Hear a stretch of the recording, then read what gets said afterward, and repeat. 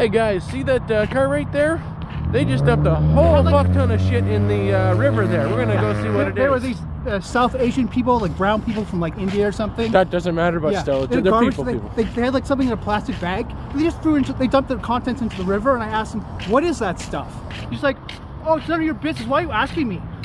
You know, I, I come around in this area. Like, I pick up a lot of. I got this bag with me all the time, and I'm picking up crap all the time. Yeah, So I'm constantly uh, picking stuff up down here. There's the bag of garbage, some other crap there, and as you can see, the rest of the bag, there was a balloon there, is all already all the way down there, just floating downriver. It'll hopefully wash up soon, and I'll pick it up.